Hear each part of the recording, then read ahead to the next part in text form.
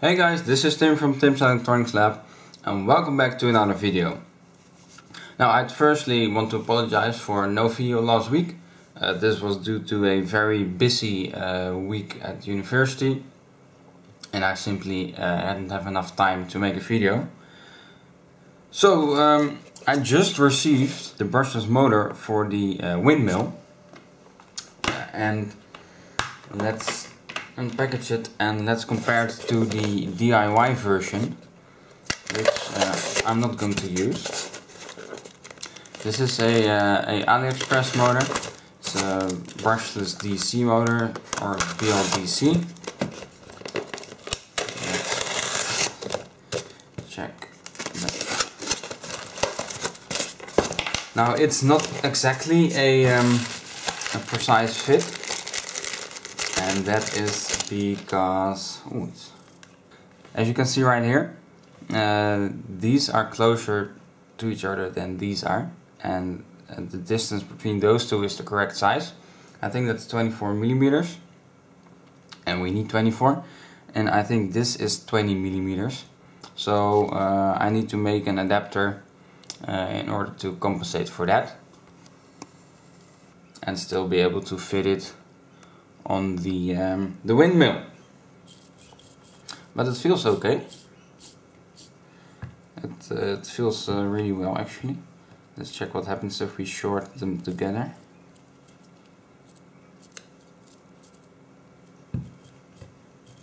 Does it feel no. Well it's uh 3020 1200 kV um, motor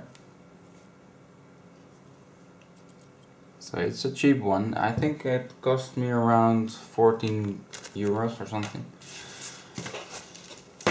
so I'm going to grab my um, oscilloscope and check what the uh, the peak output is of this thing because I'm really curious uh, to see what the performance is like. So right now I just hooked it up to my oscilloscope uh, using um, probe per phase. Uh, I did not connect the ground, so let's spin it.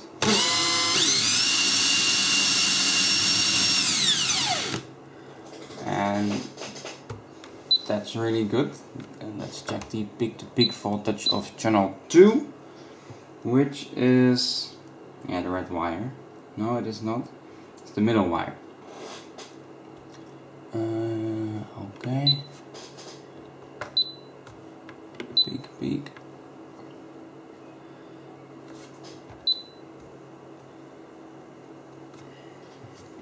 Now I'm not sure what this is. I think this is uh, electrical noise. But I think it's clipping five.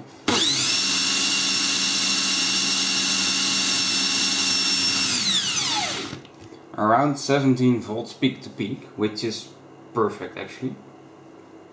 So let me grab my um, uh, my little board that I created to convert it to DC and check what that outputs. Now I do have a little challenge to tackle. These connectors are obviously not going to fit inside the terminal block, so I need to um, create a workaround for that.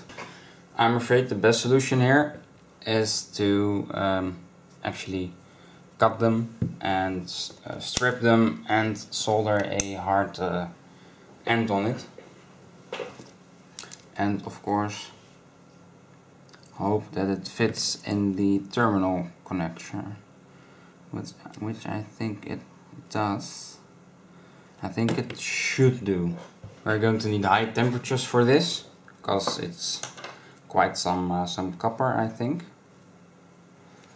And I do, um, maybe I'm going to add a bit of wire to them to extend the, uh, the leads because they're rather short. I think that two uh, wires per uh, one wire should work. You know, this is all about efficiency because uh, it's going to be used inside a uh, windmill, so you want that as efficient as possible. Now I don't have matching uh, matching colors,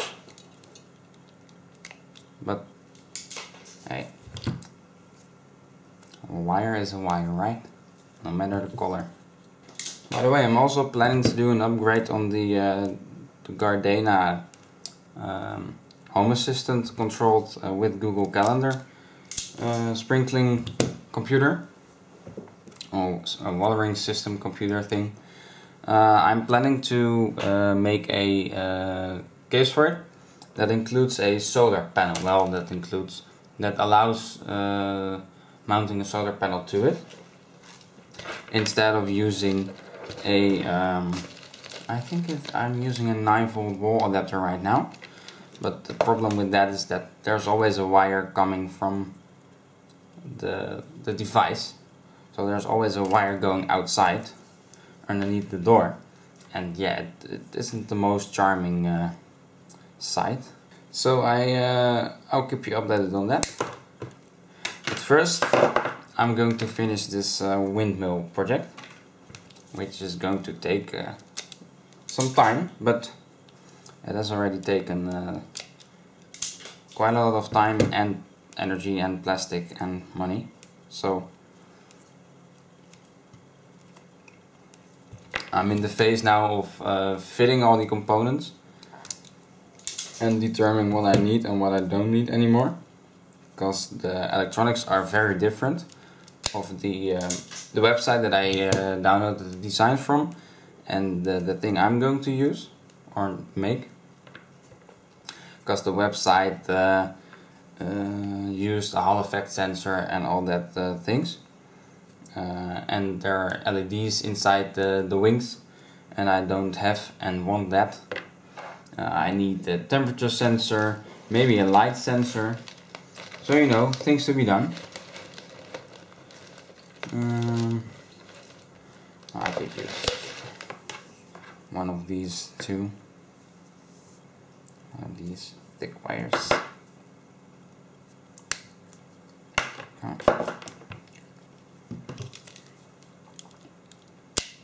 I don't want to solder it directly onto the connector since the connector is um, you know like the banana plug style.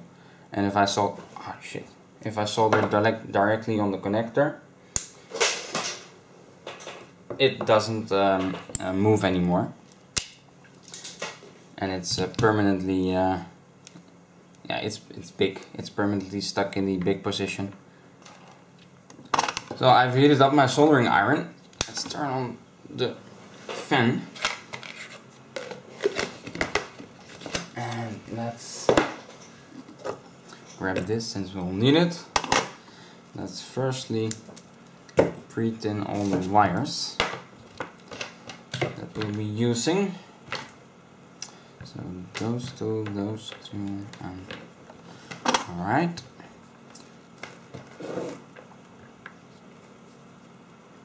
I think this should go pretty quick since that's 480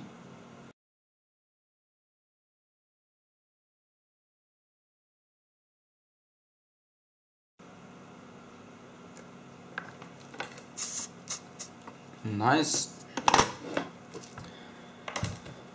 So it's cutting time for these. I do like to cut it in such a way that I can reuse the connectors if I uh, might need it so I think this is okay.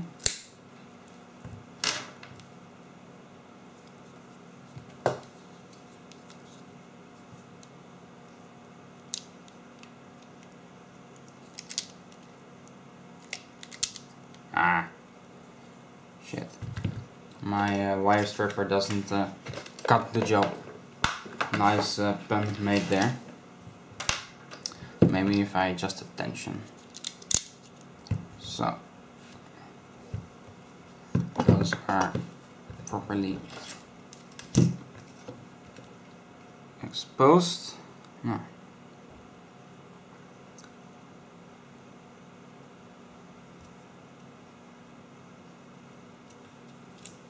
Oh, I think they just um, use the enameled copper wire which is um, yeah that's the problem because the solder won't stuck to it I need to get the enamel off the thing. So use a blowtorch then. Uh, open some windows first.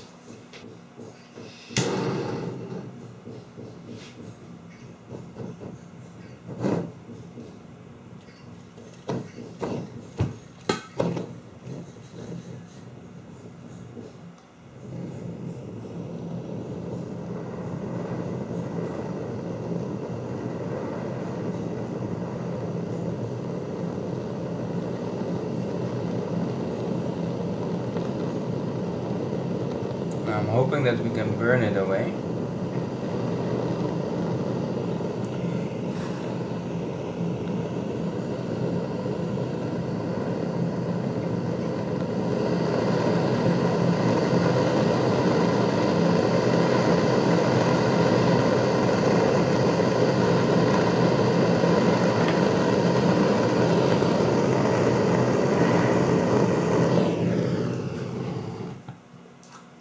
Let's check what's uh, what's happening right now. If we try to solder something to it. Now it does smell really good, not? And I also think it kind of worked. Because that's not hot anymore.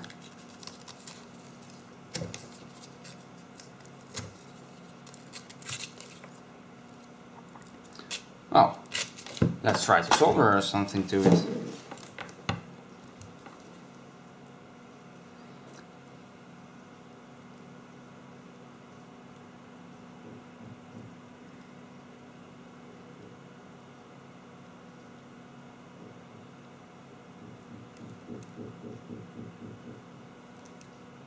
Well, it's partially working.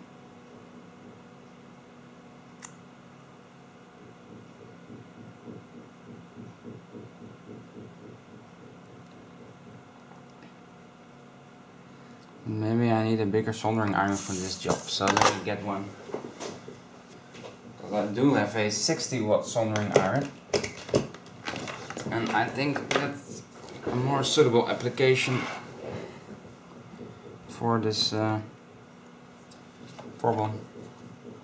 No, my main soldering iron is only 20 watts, and this one is 60 or um, 23, but it's rated at 60 watt uh, output power or something. It's very powerful. And I think it's also because of the uh, thermal mass, because there's a, a, heating element in there, and the, the whole thing that heats up is rather big, so it takes a short while to heat up. Now this was one of the first soldering irons I got, and this was one of the first soldering iron that stopped working because of me not knowing how to solder properly. So I managed to uh, survive the tip, but most of the tip has been eaten away by me not knowing how to uh, keep your soldering tip clean. There you go. It's now starting to uh, get up to temperature. Now I don't know how uh, how hot it's going to be. It just says 20, 23 watts at 230 volts.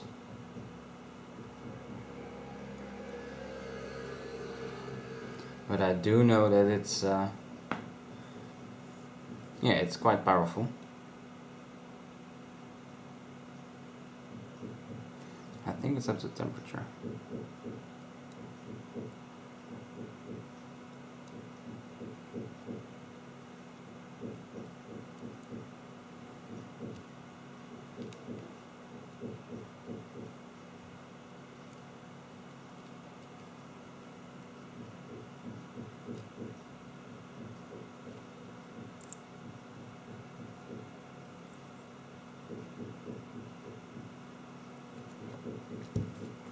Doesn't really allow me to solder anything to it so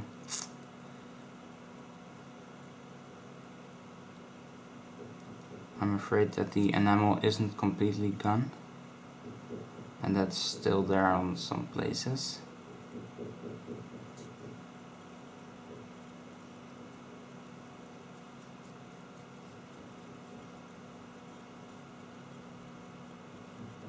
So I think we might need to uh, hit it with the blowtorch again. Now my mat's capable of um, withstanding around 4 to 500 degrees, but that blowtorch was not 4 to 500 degrees. It was a little bit, a little bit higher, I think. But let's try to solder it onto it right now, since I think it's still hot.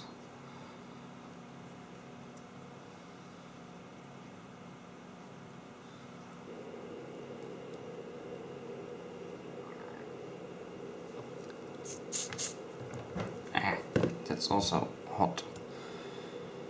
Alright, they're on. And let's check again with the scope if they're all making good contact.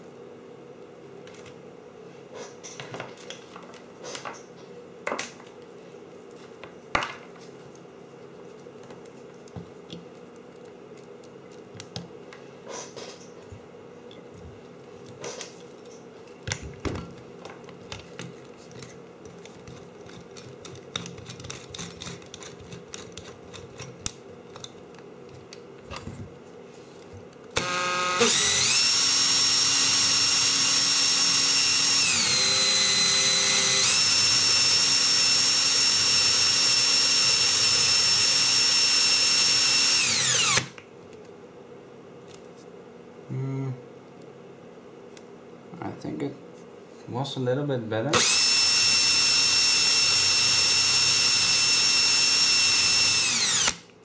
No, that's good. Alright. So now we should be able to connect it to the converter board. Oh, I think we should add some uh, heat shrink uh, first.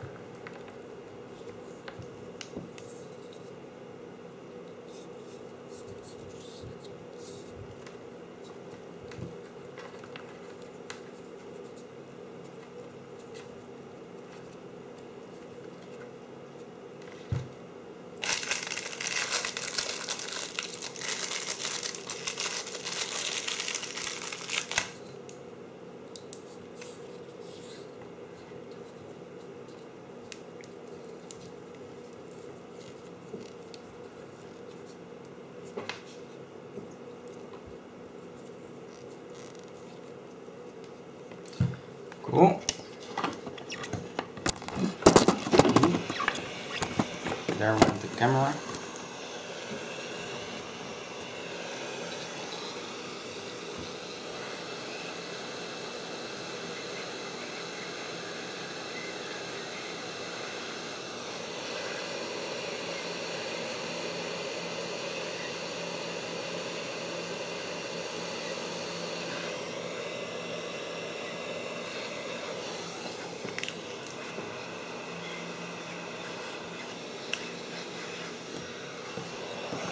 Nice.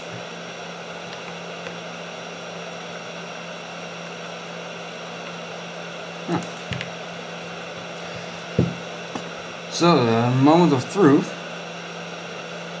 just fits in there quite nice and snug.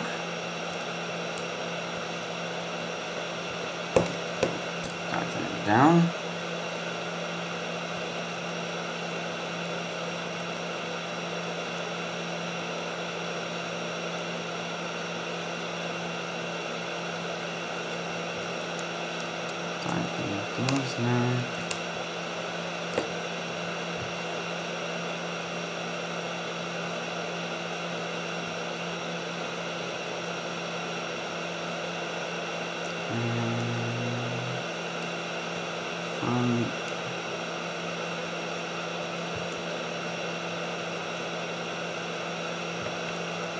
These two.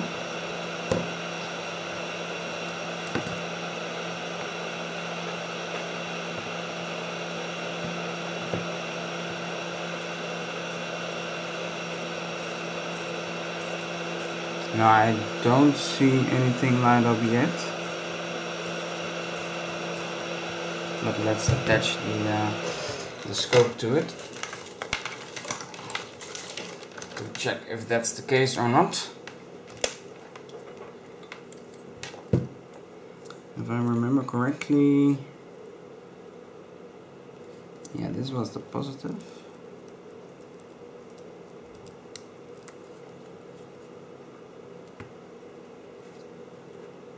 And this is the negative. Oh.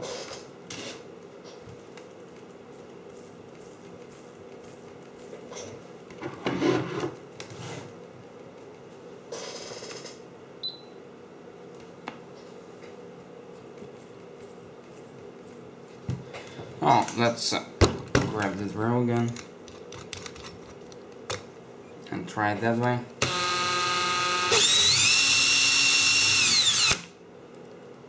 But I don't think there's anything happening. And we put it onto a different coupling mode.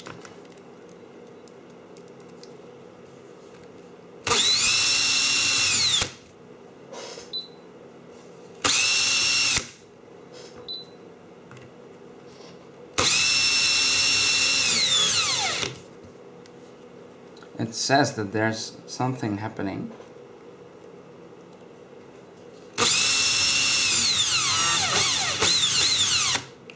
Which is correct, but not the right thing is happening.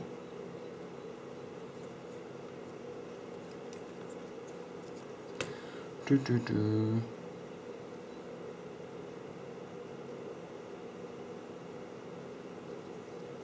Uh, let's. This is also ground.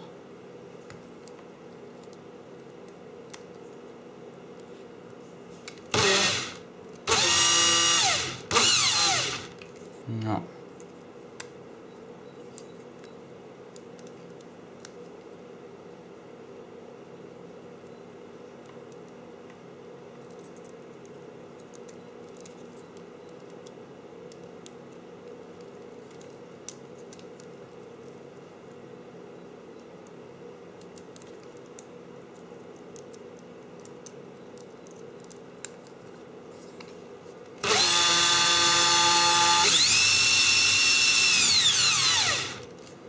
Alright, there's input signal.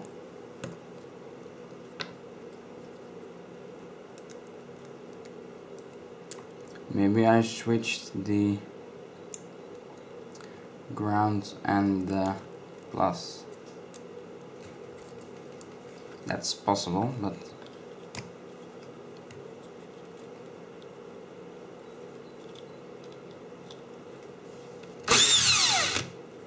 Hmm. Hmm.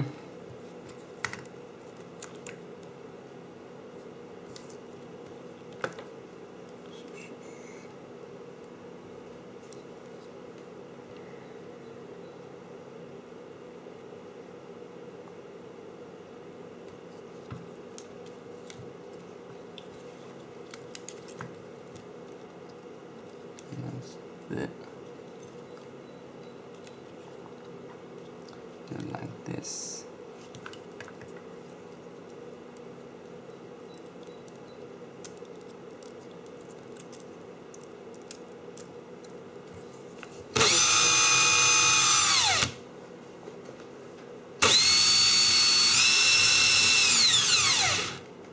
Hmm.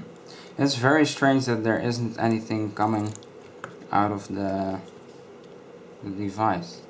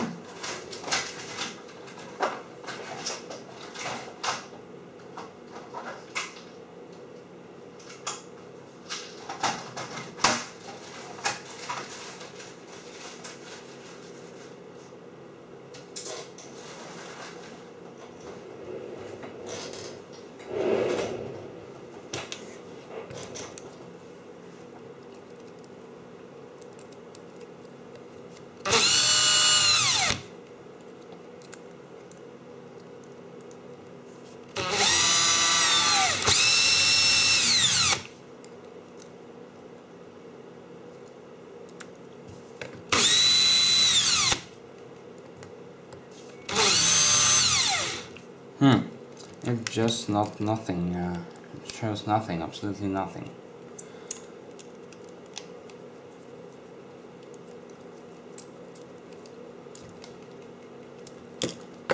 And that's not what I had hoped for. So, if you know um, what's this about, why it doesn't uh, do anything, please uh, let me know. Let me know down below, and I'll try to improve the circuitry because uh, this isn't working as expected, which is a bit of a, a bummer because I was expecting it to work as expected, but hey, you can't have everything, I guess. So, uh, thanks for watching this short video, uh, and I think I'll be back um, very soon with another video uh, regarding the windmill. So, bye! Hey guys, quick update on the generator. I did some uh, experiments and I came to the conclusion that I needed a Dremel in order to make the LED of the generator light up. As you can see right here and plug in. Now the minimum speed of the Dremel is 10,000 RPM. The maximum speed is uh, 33,000. So you can see it lights up.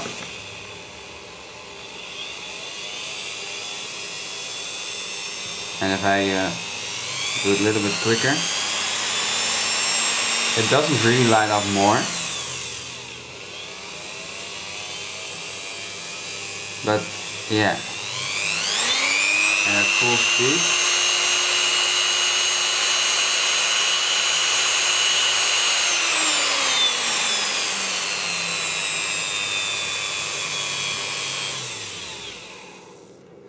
So that's a bit of uh, a shame because uh, yeah the wind isn't going to spin the windmill at 33,000 RPM and I think a gearbox is uh, not sufficient to do that job.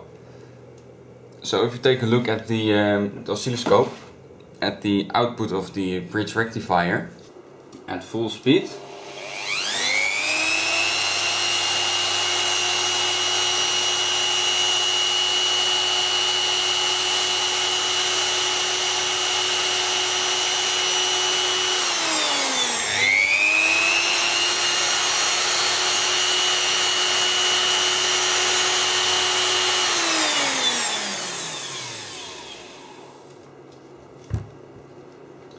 it's around um, 3 volts. So that is by far not enough to, uh, to power something.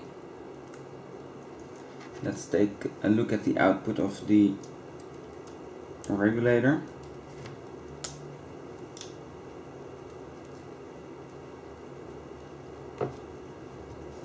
It's full speed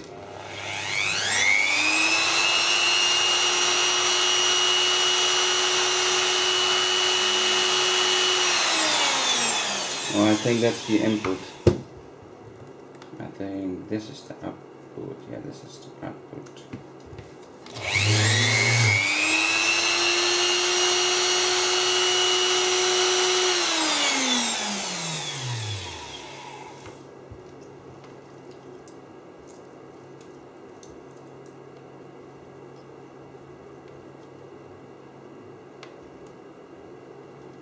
No. This is, let's check this one.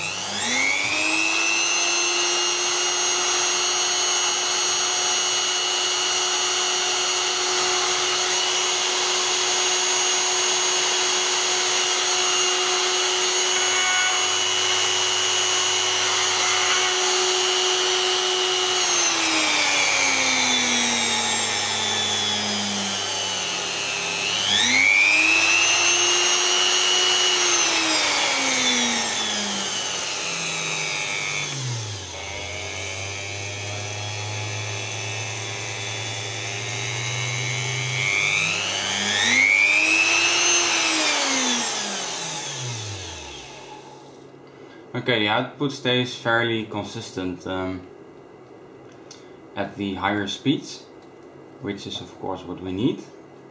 The motor gets a little warm, but that's okay.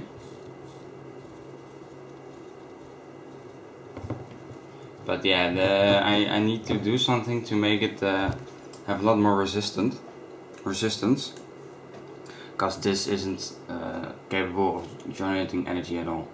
So I'll keep you updated on that one. See ya, bye!